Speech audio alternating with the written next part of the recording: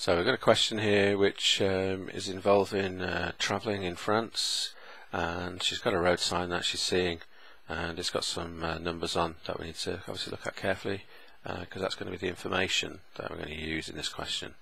So it's saying work out the distance between Lamballe and Montauban on the N12.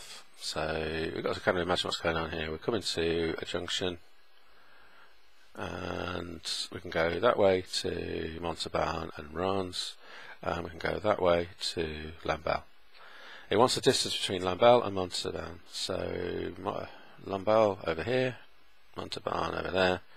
So the signpost is saying it's 20 kilometers that way and it's going to be to Montauban uh, 28 kilometers that way.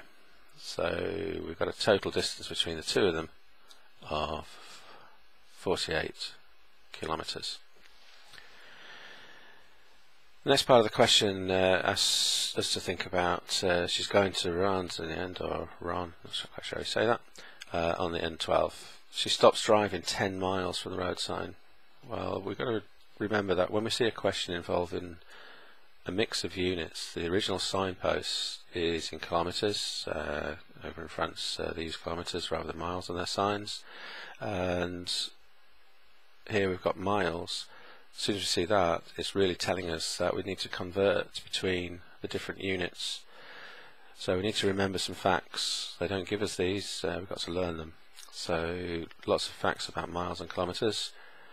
We either remember that 5 miles is equal to 8 kilometres, or we say that 1 mile is approximately 1.6 kilometres.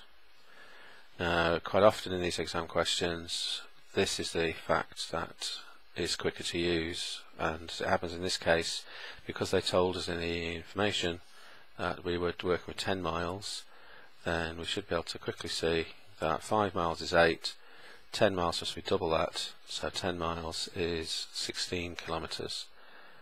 Again, if we'd have used the basic fact of 1 mile being 1.6 kilometres, then we would have done 10 miles times the 1.6, which is also 16. It shouldn't be any different, should it? So she stopped driving 10 miles from the road sign. So in other words, she's gone 10 miles that way and the same as 16 kilometers. Now the signpost said that for going to Rennes it was going to be 60 kilometers. So she's gone 16 kilometers so far so we're going to have to do 60, take away 16, which will leave us with 34. Is that right? Well, we can do a check and add back. 4 6 is a 10, carry the 1, 3 was no. So made a slight mistake there. Borrow a 10. So 10 take away 6 is 4. 5 take away 1 is also 4. So the final answer will be 44 kilometres.